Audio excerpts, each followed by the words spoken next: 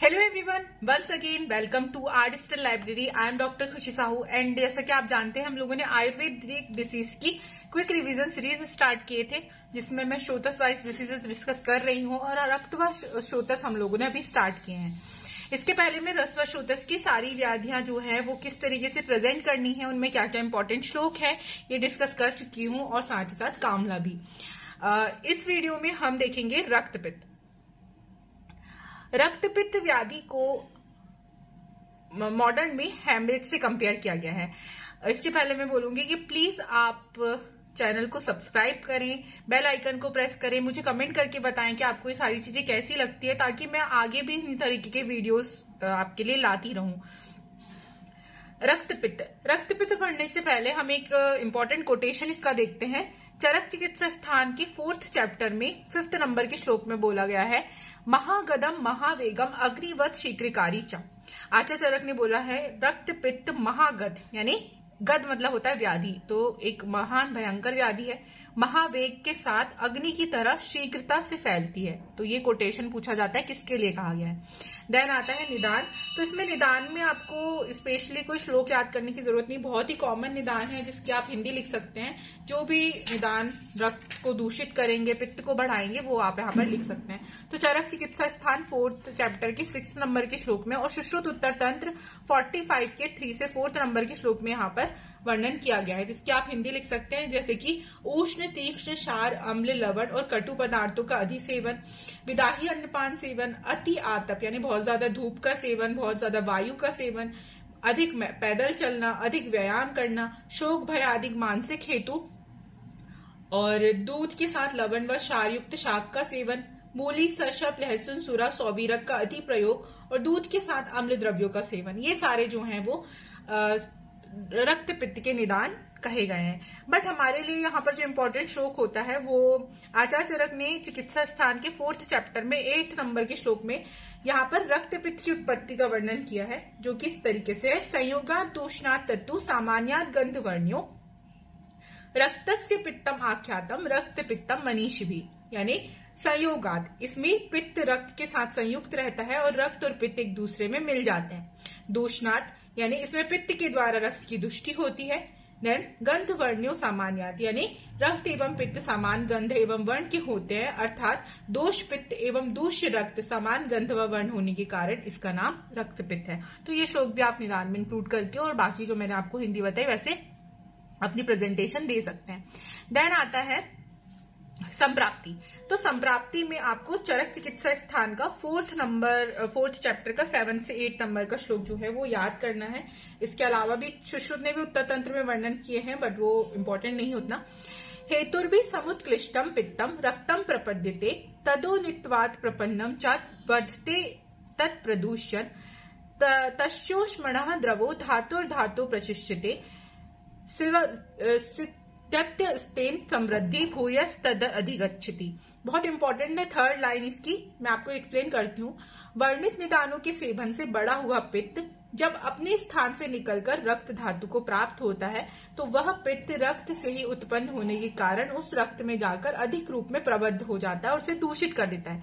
यानी जब हम निदान सेवन करेंगे तो यहाँ पर पित्त धातु दूषित होगी।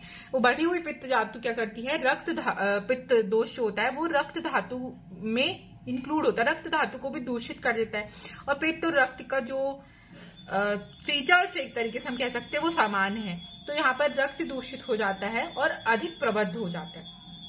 फिर, जब इस पित्त बढ़ा हुआ पित्त की ऊष्मा से मांस आदि धातुएँ जो है, वो द्रव रूप में निकलने लगती है। जो थर्ड नंबर की पॉइंट मैंने आपको बोली तस्व उष्मणा द्रवो धातु धातु प्रशिक्षित। यानी उस पित्त, बढ़े हुए पित्त की ऊष्मा की वजह से जो अन्य धातुएँ हैं, वो द्रव फॉर्म यानी लिक्विड फॉर्म में कन्वर्ट हो जाती हैं। तो लिक्विड फॉर्म में कन्वर्ट होने की वजह से यहाँ पर रक्त वाहिनियों में रक्त की वृद्धि होगी। ऑब्वियस सी बात है, यदि लिक्विड बढ़ रहा है बॉडी में तो रक्त की वृद्धि हो रही है। तो रक्त की वृद्धि होने के कारण, रक्त की अति प्रवृत्ति होने लगती है। कहाँ से? ऊर्ध और अधो मार्ग से या फिर संपूर्ण रूम कोपो से। उसे ही हम रक्त पित्त कहते हैं। जिसे मॉडर्न में हेमरेजिक डिसऑर्डर से कंपेयर किया जाए।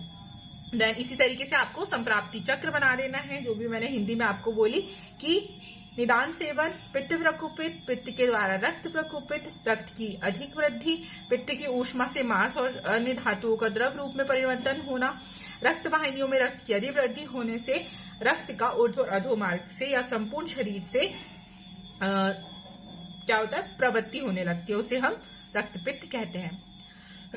देन आता है संप्राप्ति घटक।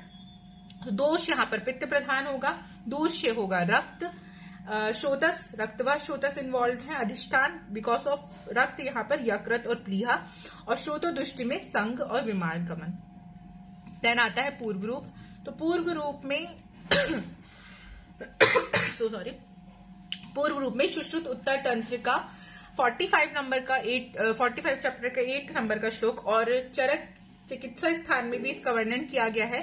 सॉरी चरक निदान स्थान के सेकंड चैप्टर का सिक्स नंबर का श्लोक जो है आप याद कर सकते हैं।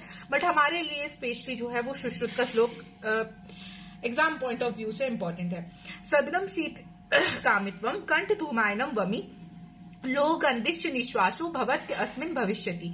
इसमें आपको दो पॉइंट स्पेशली याद रखने हैं, कंठ धूमायनम वमी और लोक गंधिश निश्वास। यानी पूर्व रूप क्या होंगे? तो सदन, यानी अंग साथ मैलिए सुस्ती सी लगेगी शीत कामित्वम शीत सेवन की इच्छा कंठ धूमायनम वमी, यानी कंठ से धुआँ निकलने की प्रतीति लोह गंधिश यानी सॉरी वमी, यानी वमन होना लोह गंधिश निश्वास, यानी श्वास, सांस लेगा व्यक्ति तो उसको ऐसा लगेगा कि आयरन मेटल स्मेल आ रही है।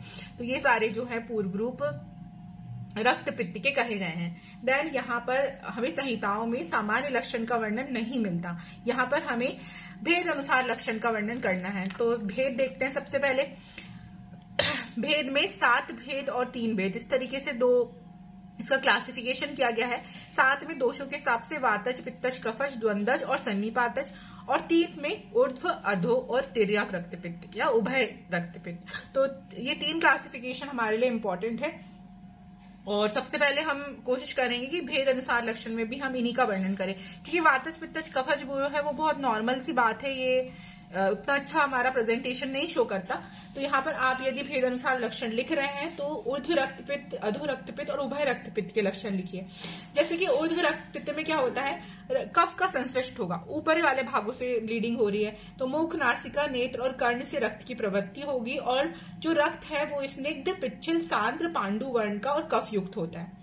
अधो रक्तपित्त में वात का अनुबंध होगा और यहाँ पर गुदा मेड्र योनि, मार्ग से रक्त प्रवृत्ति होती है और जो भी श्रवित रक्त है उसका वर्ण शाव, अरुण, रूक्ष और तनु, फेनिल वर्ण होगा।